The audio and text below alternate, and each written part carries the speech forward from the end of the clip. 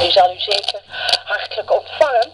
Want ik laat mij nooit verleiden om iets U te zeggen wat, eh wat Ahoy Radio hoort bij mijn taak met om dat aan programma mensen uit mee te delen. En eh, nou, 1977. dat, eh, dat accepteren met ze het dan. Echtpaar Bekkering van Rijn van gemeente, is destijds het burgemeester-echtpaar in de eh, gemeente er Het huidige, volgens mij gemeente Middenveld, maar de gemeentelijke herindeling. Mevrouw er Bekkering van Rijn van. Selven is inmiddels En, overleden. Ik heb Auke veel Bekkering van. Rijn werd dus nu vorige maand, 26 april van dit jaar dus 25 jaar 2014 burgemeester. 94 jaar. En we hopen het dus nog een aantal jaar samen te kunnen doen. Het is boeiend en het is altijd weer anders. Er zitten altijd mogelijkheden in en dat vind ik, eh, vind ik fijn. Ik hoop dat dit eh, je een beeld geeft van hoe het is. Het is wel altijd zo dat je eh, een, een, een deel van je eigen leven moet eh, overgeven voor, nou ja, omdat er belangen zijn. Er is ineens brand. Je zal op visite, je op visite gaan of je zult naar de tamboer in Hogeveen gaan en er is brand. En dan moet de burgemeester daarheen, dus dan moet je wachten. Dan gaat of die voorstelling in de tamboer niet door, of je komt een half uur te laat. En je wil net weg en er staat iemand aan de deur en die heeft iets en dan moet er iets gebeuren. En zo zijn er altijd allerlei dingen die je dan even terzijde moet zetten uit je eigen leven. En dan, eh, maar aan de andere kant zijn er zoveel dingen die je toevloeien aan hartelijkheid en aan medeleven. Dat, eh, dat weegt helemaal ruimschoots tegen elkaar op. Dat, eh, ik heb het altijd met plezier gedaan. Ehm, betekent dat, wat u zojuist zei, ook dat uw man eigenlijk 24 uur per dag beschikbaar moet zijn? Ja, dat, eh, dat, vind, dat vind ik dan altijd wel. Dat klinkt dan geweldig. Maar mijn man krijgt ook gelukkig tijd om te eten. En ook eh, als het even kan om te slapen. Tenzij er brand, een hele erge brand is of wat dan ook. Maar 24 uur. Het is wel zo. ehm, eh, bijvoorbeeld het is eh, zaterdag of zondag. En dan is iedere burger in Bijlen is, eh, is, is vrij natuurlijk. En wij ook. Maar als ik dan, dat merk ik dan als ik dan met mijn man door Bijlen wandel of rij. eh, en, en er is ergens onderweg iets wat niet klopt. Bijvoorbeeld in de winter, er is een lantaarn die niet brandt. Dan gaat er onmiddellijk een bloknootje wordt er genomen. En dan wordt er opgeschreven, die lantaarn Ja, brandt dat was in die tijd. Tegenwoordig Of gaat het allemaal daar via is dit internet. of dat wat markeert en dat wordt dan direct al opgezameld en dan voor de volgende dag is dat, wordt het meteen eh, op de plaats gebracht waar het zijn moet. En als zodanig kun je zeggen dat zolang je in je gemeente bent en je bent er met hart en ziel voor bezig, dan ben je er altijd voor bezig, ook als het zaterdag is of zondag of wat dan ook.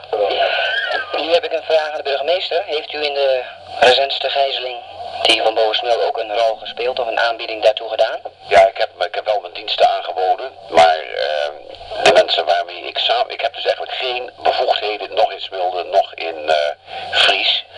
Dus men kan van mij eh, wel de diensten gebruik maken, maar ik heb geen bevoegdheden. En aan de andere kant heb ik natuurlijk een heel stuk ervaring. Daartegenover zit het, eh, of staat het feit dat in de groep die Ik kan me in de nog bunker in herinneren, Assen de dezelfde dat wel onder deze burgemeester viel. Dus, eh, Toen heb ik gespijbeld van school. Ik ben dus een hele week eh, s morgens die in de radiostudio studio geweest van Ahoy. Om dingen te extra doen. ervaring eigenlijk eh, En weinig zelfs eh extra. Bijlen was afgezet eh, met Nu geef ik u militair. zelf even een microfoon. Ik had net die vraag bij uw vrouw u Maar ook in een aantal minuten iets over zou willen Ik vertellen. elke ochtend in de radiostudio voor extra uitzendingen. Je zou inderdaad kunnen zeggen dat ons werk bepaald wordt door het feit dat het geen grenzen heeft.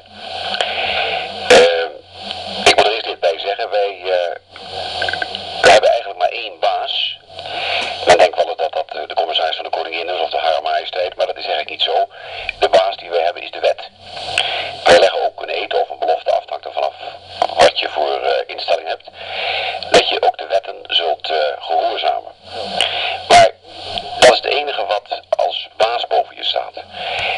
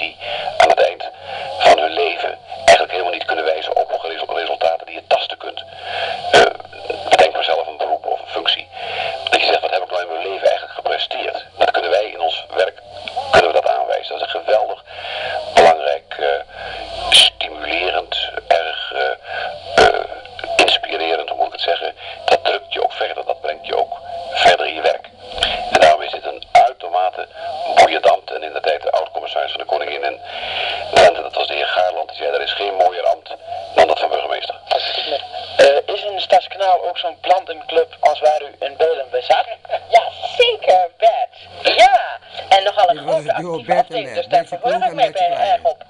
Ja. En het lijkt me heerlijk om eens in het begin in een afdeling mee te lopen waar ik zelf geen eh, bestuursfunctie aan heb en niet altijd allerlei dingen hoef te bedenken. En gewoon eens mee te lopen met zo'n groep die daar bezig is, dat lijkt me heel eh, feestelijk. Ja, Ja, ja. Eh, dan gaan we even naar uw man. Eh, legt u nu ook de functie als voorzitter van het Rode Kruis neer? Ja, dat zal eh, nu toch wel moeten gebeuren, want dat is, eh, dat is, het is natuurlijk de moeilijkheid van dat ik daar, zoals ik in het begin al gezegd heb, ik moet een nieuwe start maken. En eh, dan moet je op een bepaald moment ook bepaalde dingen wel afkappen. Ik bedoel, het wordt te ver weg. Het is niet zo'n geweldige afstand tussen Stadskanaal en Bijlen, maar het is altijd nog een 40 kilometer ongeveer. Om dat ook allemaal te doen. Dat Rode Kruis zal dus een nieuwe voorzitter moeten zoeken, maar misschien wachten ze net zo lang. Dat hebben ze mij ook gedaan. Ze hebben in de tijd toen ik hier kwam, hebben ze een jaar gewacht. Toen ik ja zei, want ik had namelijk het eerste jaar geen nieuwe banen aannam. Behalve mijn ambt van- of functie van burgemeester. En toen de eerste beste dag, ik herinner me nog dat we geïnstalleerd werden, lag er al een brief op tafel van de- het bestuur of ik dan voorzitter wilde worden. Toen heb ik het teruggeschreven binnen 24 uur. Je mag over 365 dagen terugkomen. En dat hebben ze dan ook precies gedaan. Dat was de 365ste dag, dat was precies een jaar daarna. Dat zullen ze misschien nu weer proberen, ik weet het niet. Maar in ieder geval, eh, nee, die, die functie leg ik neer, ja. En eh, wie wordt uw opvolger als burgemeester van Bijlen?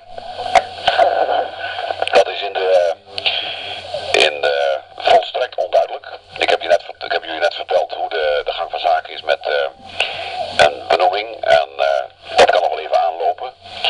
De, eerst wordt nu de, de, de functie opengesteld in de staatscourant.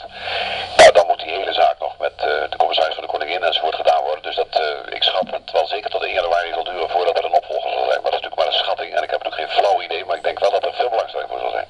Kunt u in een paar minuten bijzondere voorvallen uit uw leven vertellen? Hele bijzondere voorvallen? Nou, mijn geboorte. mijn, mijn huwelijk. De, in mijn werk. eh, de eerste gemeente die ik kreeg, toen was ik 32 jaar. Dat was, het waren die dorpen in Zuid-Holland. De watersnoodramp die ik heb meegemaakt. De installatie, het afscheid van de vorige gemeente, de installatie van Bijlen. De, de kaping niet te vergeten, het geval Weester. En nu straks het afscheid van Bijlen en de intree of de installatie in Stadskanaal. Dat is En eh, welke bijzonderheden heeft u in de afgelopen jaren van Radio Ahoy meegemaakt? ik ehm, heb eens een keer een jonge man op de stoep gehad. En die zei dat hij Bert Kleine heette. En die stond zo'n beetje te springen op de stoep. Dat was een hele bewegelijke figuur. En die vertelde iets over eh, Radio Ahoy. En ik was er niet, ik wist er nog niet zo vreselijk veel van. Hij was ook nog maar net bezig en hij moest ook de burgemeester spreken. En het, viel mij altijd op als je Bert, eh, als je met Bert te maken hebt, het heeft altijd eh donderse haast. Het moet altijd snel gebeuren. En dan zei ik altijd, ik zal het even met mijn man overleggen, ja, maar wanneer kan ik dan langskomen? En, eh, want ik moet eh, antwoord hebben. Ja, goed. Nou, dat was eh, mijn contact met Radio Ahoy. En toen hebben we een, een kostelijke avond gehad in de ontspanningszaal van Bijleroord. Toen hebben jullie een actie gevoerd voor, eh, was niet Noord-Ierland, kinderen van Noord-Ierland, die jullie geloof ik hier naar Nederland wilden halen. Dat weet ik niet meer, maar toen hebben we daar een, eh, en daar was ik altijd onder de indruk van de geweldige enthousiasme van, van Bert. En eh, hij weet ook altijd geweldig goed eh, andere mensen voor zijn, voor zijn kar te spannen, enthousiast te maken en zeggen, hè, en dan denk je altijd, hoe zal het nou allemaal gaan, maar het loopt allemaal en op zo'n avond is er een meneer die zo'n avond presenteert en nou, het loopt allemaal en jullie hebben een fix bedrag daarvoor opgehaald. Dat zijn, eh, nou, en toen laatst kwam eh, vorig jaar, eind vorig jaar geloof ik, kwam Bert weer en toen moest in januari hier iets opgenomen worden en nou, eh, ik, ik, ik, heb, ik te kijken hoe het, hoe het, hoe het allemaal lukt. Ja, je vraagt de mensen en ze komen en het lukt en je maakt een opname. En ja, ik vind het heel knap zoals jullie werken. Het is waarschijnlijk een hele andere manier van met elkaar bezig zijn dan men vroeger deed. Daarom vinden jullie misschien meneer Wessels ook wat ouderwets. En, eh, en, eh, maar in ieder geval, eh, ja, het lukt allemaal. En, en, en jullie enthousiasme, die, dat doorbreekt een heleboel bezwaren van de mensen misschien om je heen. Het gaat allemaal ja, heel gesmeerd, heb ik de indruk. En dat eh, gezellig om aan mee te doen. Mag ik nog iets aan toevoegen? Ik herinner me dat wij aan de geleden in een eh, kleuterschooltje wat niet meer in gebruik was, dat we dat geopend hebben. Nou En toen heb ik meen ik een uh, krentenwegger meegenomen. Ja, En dat was binnen een half uur was dat in twee stukken gevallen. Was dat niet zo? dat was heel goed. Ja, Dat was, eh, Dank aan eh, Nelly dat was toen in dat Ja, nou. eh, dat was ook nog de padvinderij. Ja, gewoon van de padvinderij. Dat Oh, ja. ja. En dan nu Klaus Wunderlicht op zijn Hammond-orgel A Walk in the Black Forest. Ja, ja, ja, ja. Waren nog leuke opnames uit het jaar 19. Wat was het? Even kijken op Wikipedia. Moment. 1977, ja, want in 75 was de treinkaping bij eh Wijster. Ik had bijna in die trein gezeten. Iedere dinsdagochtend ging ik naar school. Hogeveen, de detailhandelsschool. En op die ochtend die dinsdagochtend werd de trein van 3 over 10 tussen Bijlen en Hogeveen gekaapt door een stel Molukse kapers. Het heeft een hele tijd geduurd. En ik was de middag tevoren ziek naar huis gegaan van school. Mijn moeder zei nog, blijf maar thuis. En dat is mijn geluk geweest, anders had ik ook in die trein gezeten. Er zaten vrienden en vriendinnen van school in die trein, de treinkaping in Wijster. Ja, burgemeester Bekkering van Rijn. Hij is op 26 april 2014 94 jaar geworden. Mevrouw Bekker van Rijn is helaas heen.